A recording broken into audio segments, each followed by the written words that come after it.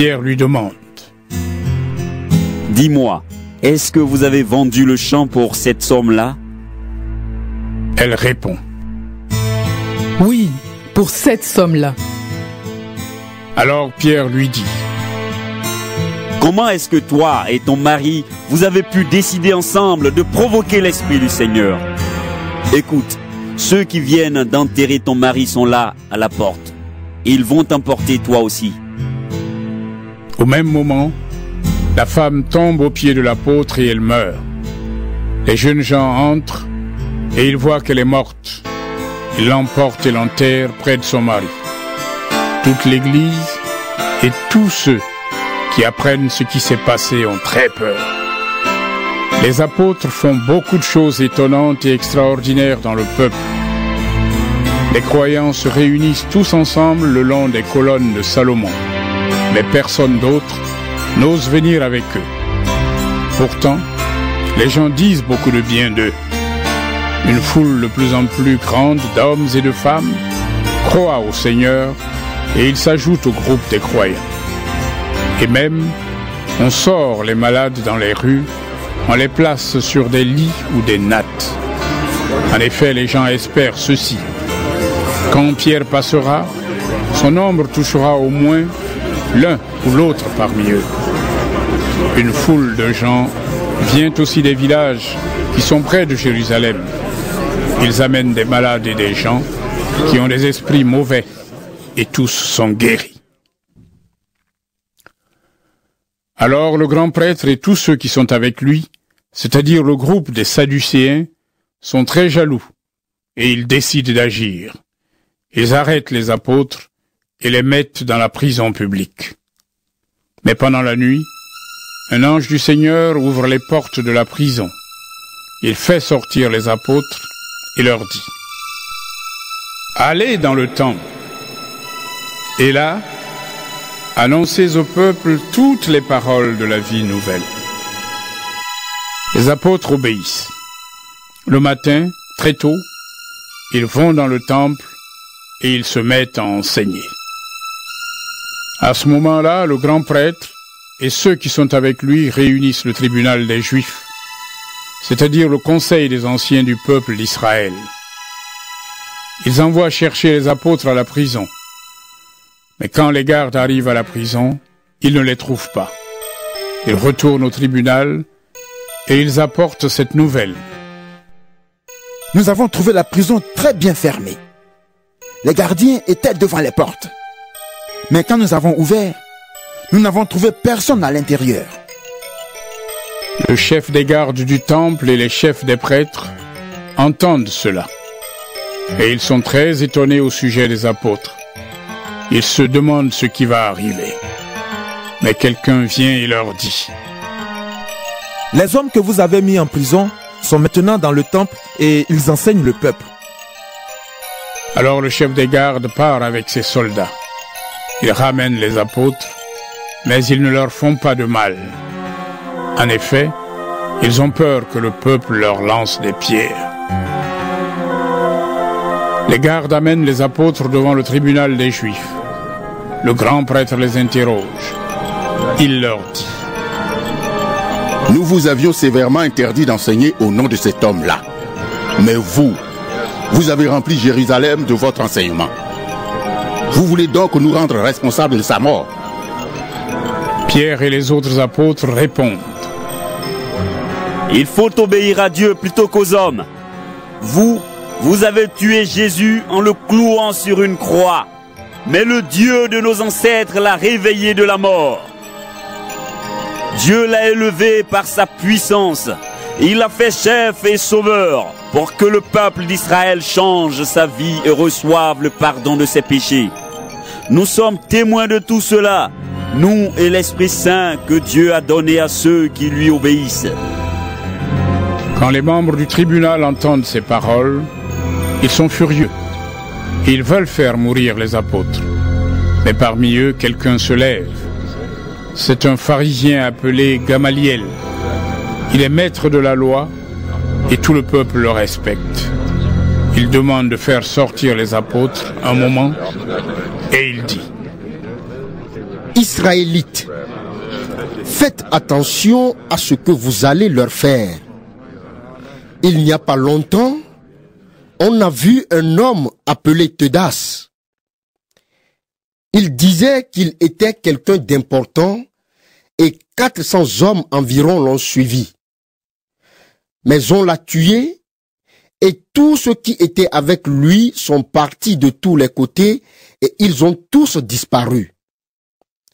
Ensuite, on a vu Judas le Galiléen. Il a entraîné beaucoup de monde avec lui. C'était au moment où l'empereur avait donné l'ordre de compter les habitants du pays. Mais Judas est mort, lui aussi, et tous ceux qui étaient avec lui sont partis de tous les côtés. Maintenant donc, je vous dis une chose. Ne vous occupez plus de ces gens-là et laissez-les partir. Si leurs projets et leurs actions viennent des hommes, cela disparaîtra. Mais si leurs projets et leurs actions viennent de Dieu, vous ne pourrez pas les faire disparaître. Attention, il ne faut pas que Dieu nous trouve parmi ses ennemis. Les gens du tribunal sont d'accord avec Gamaliel. Ils font venir les apôtres et ils les font frapper. Ils leur commandent de ne plus parler au nom de Jésus. Puis ils les libèrent. Les apôtres quittent le tribunal. Ils sont tout joyeux parce que Dieu les a jugés dignes de souffrir pour le nom de Jésus. Chaque jour, dans le temple et dans les maisons, ils continuent à enseigner et à annoncer cette bonne nouvelle. Jésus est le Messie. Chapitre 6 À ce moment-là, le nombre des disciples devient de plus en plus grand. Et les Juifs qui parlent grec se plaignent des Juifs du pays. Ils disent Chaque jour, au moment où on distribue la nourriture, on oublie les veuves de notre groupe. Alors, les douze réunissent l'ensemble des autres disciples et ils leur disent Nous ne devons pas cesser d'annoncer la parole de Dieu pour nous occuper des repas. C'est pourquoi, frères, choisissez parmi vous sept hommes que tout le monde respecte, remplis d'Esprit Saint et de sagesse. Nous leur confierons le service des repas et nous, nous continuerons fidèlement à prier et à annoncer la parole de Dieu. L'assemblée entière est d'accord avec eux. On choisit Étienne, un homme rempli de foi et d'Esprit Saint. On choisit aussi Philippe, Procor, Nicanor, Timon, Parménas et Nicolas, un homme d'Antioche de Syrie, qui obéit à la loi de Moïse. On les amène devant les apôtres. Les apôtres prient pour eux en posant les mains sur leurs têtes. La parole de Dieu est de plus en plus connue. À Jérusalem, il y a de plus en plus de disciples. De très nombreux prêtres juifs croient en Jésus. Dieu a donné à Étienne sa force et son amour. Alors, il fait des choses extraordinaires et étonnantes dans le peuple. Des Juifs de Cyrène et d'Alexandrie ont l'habitude d'aller dans la maison de prière appelée maison de prière des esclaves libérés. Avec des Juifs de Cilicie et de la province d'Asie, ils se mettent à discuter avec Étienne, mais ils ne peuvent pas avoir raison contre lui. En effet, l'Esprit Saint lui donne la sagesse pour parler. Alors, il paie des gens pour qu'ils disent Nous avons entendu Étienne parler contre Moïse et contre Dieu. Ainsi, ils excitent le peuple, les anciens et les maîtres de la loi. Puis, ils s'approchent d'Étienne, ils l'arrêtent et le conduisent devant le tribunal. Ils amènent aussi de faux témoins qui disent Cet homme parle sans arrêt contre le Saint-Temple et contre la loi de Moïse. Nous l'avons entendu dire. Jésus de Nazareth détruira ce temple et il changera les coutumes que Moïse nous a données. Tous les membres du tribunal regardent Étienne. Son visage ressemble à celui d'un acte. Chapitre 7 Le grand prêtre demande à Étienne. Ce qu'on dit de toi, est-ce que c'est vrai? Étienne répond. Frères et pères, écoutez-moi. Le Dieu glorieux s'est montré à Abraham, notre ancêtre, quand celui-ci était en Mésopotamie.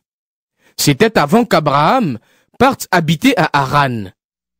Dieu lui a dit, Quitte ton pays et ta famille et va dans le pays que je te montrerai. Alors Abraham a quitté le pays des Babyloniens et il est allé habiter à Haran. Ensuite, le père d'Abraham est mort. Et Dieu a fait passer Abraham de Haran dans le pays où vous habitez maintenant. Là, Dieu n'a donné aucune propriété à Abraham, pas même un petit morceau de terrain. Mais il lui a fait cette promesse. Je te donnerai ce pays, tu le posséderas, toi et tes enfants après toi. Pourtant, Abraham n'avait pas d'enfants. Dieu lui a dit, Les enfants de tes enfants vivront dans un pays étranger. Là, ils deviendront esclaves et on leur fera du mal pendant 400 ans. Mais Dieu a dit aussi, Moi je jugerai le peuple qui fera de ses esclaves. Ensuite ils partiront et ils viendront m'adorer ici. Puis Dieu a fait alliance avec Abraham. Le signe de cette alliance, c'est la circoncision. Ainsi, Abraham a circoncis son fils Isaac une semaine après sa naissance. Isaac a circoncis son fils Jacob et Jacob a circoncis ses fils, nos douze ancêtres. Nos ancêtres ont été jaloux de leur frère Joseph. Ils l'ont vendu comme esclave en Égypte. Mais Dieu était avec Joseph. Il l'a délivré de toutes ses souffrances. Il lui a donné la sagesse pour parler au Pharaon, roi d'Égypte. Il lui a donné aussi d'être agréable à ce roi. Celui-ci l'a nommé gouverneur d'Égypte et responsable de toutes ses affaires. Mais voilà qu'il y a une famine dans toute l'Égypte et tout le pays de Canaan. Les gens souffrent beaucoup et nos ancêtres ne trouvent plus de nourriture. Jacob entend dire qu'il y a du blé en Égypte. Il envoie nos ancêtres une première fois. Quand ils y vont pour la deuxième fois, Joseph se fait reconnaître par ses frères. Alors, le roi d'Égypte apprend quelle est la famille de Joseph. Joseph envoie chercher son père Jacob et toute sa famille. En tout, il y a 75 personnes. Jacob vient donc en Égypte, il meurt là, et nos ancêtres aussi. On transporte leur corps à Sichem et on les enterre dans la tombe qu'Abraham a achetée avec de l'argent au fils d'Amor à Sichem. Le moment approche où Dieu va faire ce qu'il a promis à Abraham. Notre peuple devient alors de plus en plus nombreux en Égypte. Mais un jour, un nouveau roi commence à gouverner. Ce roi n'a pas connu Joseph. Il trompe notre peuple et il fait du mal à nos ancêtres. Il les oblige à abandonner leurs bébés pour qu'ils meurent. C'est à ce moment-là que Moïse vient au monde. Il est très beau et Dieu l'aime. Pendant trois mois, Moïse est nourri dans la maison de son père. Ensuite, il est abandonné. La fille du roi d'Égypte le prend chez elle et elle l'élève comme son propre fils. Ainsi, Moïse apprend toute la science des Égyptiens. C'est un homme qui parle et agit avec puissance. Quand il a 40 ans, il décide d'aller voir ses frères, les Israélites. Il voit un Égyptien faire du mal à un Israélite. Moïse veut défendre l'homme attaqué et pour le venger, il tue l'Égyptien.